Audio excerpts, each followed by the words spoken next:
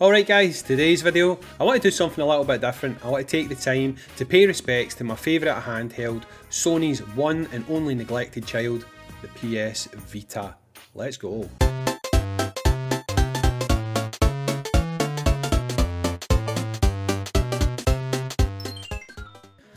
Still remember how hyped I was about the impending release for the PS Vita uh, before it launched. I would read every article about it, I would enter into lengthy discussions about it in the now defunct PlayStation community forums. I even get invited to a PlayStation Access event to actually go hands on with the device, while Sony laid on some free beer and snacks for our adult enjoyment. Those were the days. From the moment I played this little sucker, I fell in love. On that launch day, I managed to get my hands on various different titles like Super Stardust HD, I got a little bit of play on Uncharted, as well as playing Reality Fighters, which at the time I must admit I found a little bit odd. Anyway, I persisted with my pre-order and when launch day came around and I took delivery of my console, I got it with Wipeout. I quickly jumped onto the store and grabbed the Vita version of my favourite PS3 title, which was Super Stardust. I actually love that game and I recommend it to anyone who hasn't played it. I was also very lucky that I managed to pick up a bonus copy of Uncharted by buying 99 pence DLC. So in America, that's 99 cents. Basically, there was a bug on the PlayStation Store at launch that if you bought a map pack that showed you hidden treasures in the game, rather than giving you that pack, it actually gave you the entire game for 99 pence. And you can be sure as hell that I took advantage of that little exploit. It was obvious from the start that this was a powerful bit of kit, but early on I started to notice something. No one had one. I would be playing it on the bus and I'd get the occasional is that the new PSP?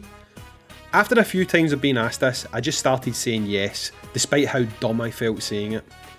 It was around about this time I realised just how badly Sony had marketed the Vita outside of the Sony fanbase, as people just didn't know about the console or what it was capable of. In fact, more people seemed to know about its overpriced memory cards than what kind of gaming experience it could provide. So while I was enjoying games like Uncharted and Wipeout, all I was reading about was how retail stores were no longer giving shelf space to Vita consoles or games as it was performing so poorly.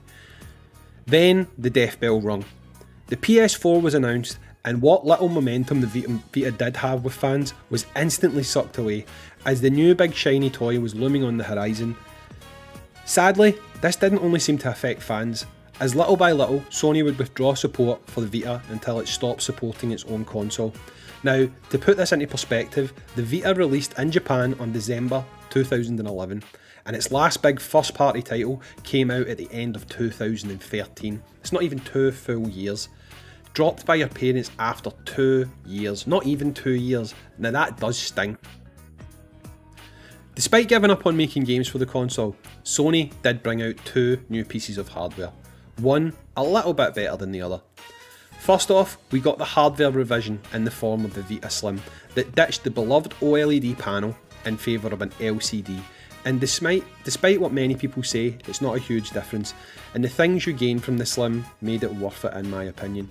For example, the OLED on the original Vita did have some issues as OLED technology was a lot newer at that point in time.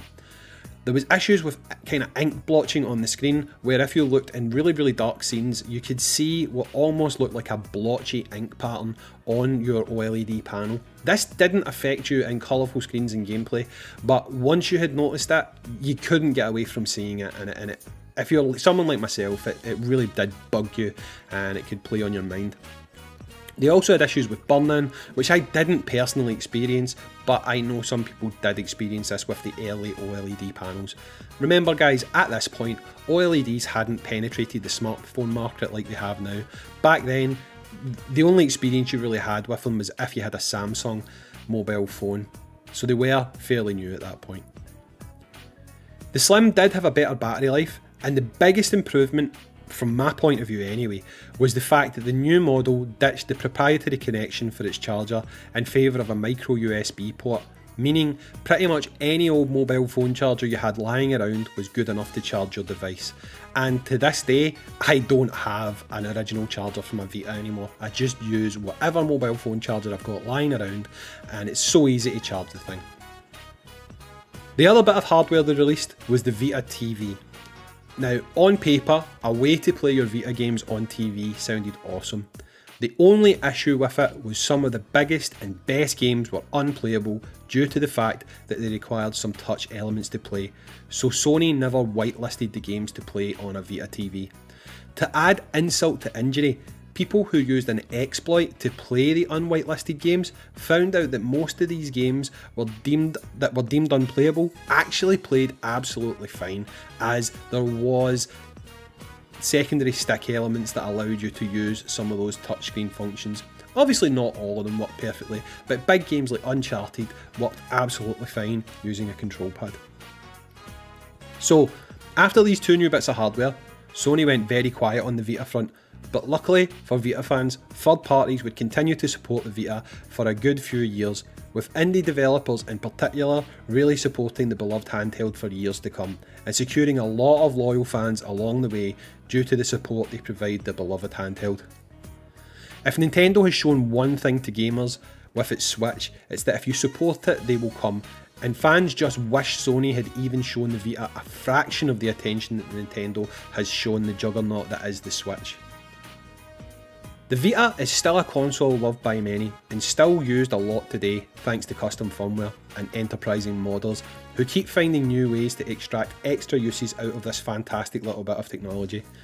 The Vita having physical buttons makes it a more natural fit to emulate the likes of Game Boy Advance, Super Nintendo and PS1 titles than someone's mobile phone and it's something the console excels at and it up emulates up to the PS1 with ease when you start to hit the N64, which is notoriously trouble to emulate for, you can start to see some issues. So with this one guys, I would say everything up to the PS1 is absolutely fine on your Vita.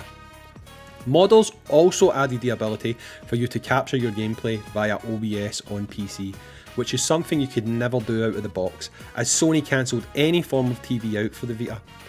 Modders even found a way for you to overclock your Vita so that native Vita titles run even better than Sony ever allowed you to run them on your console.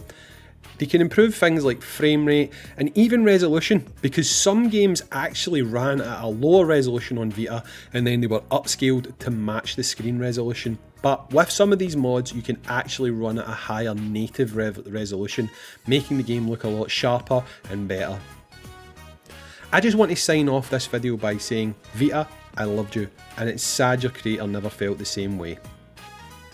Thanks for watching guys, remember to like the video, subscribe to the channel, and I'll catch you on the next one. See ya!